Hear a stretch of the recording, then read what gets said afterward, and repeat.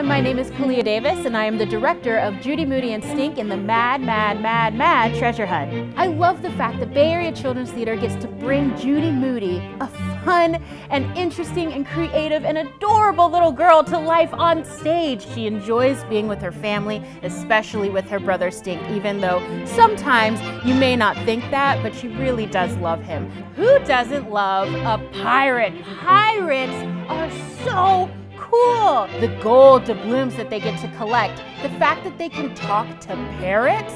I think something that the Bay Area Children's Theater audience is going to really love about our show is that it is totally kid focused and totally kid centered.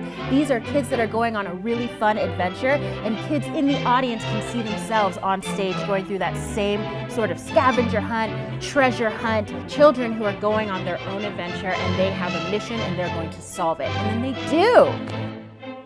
Bye.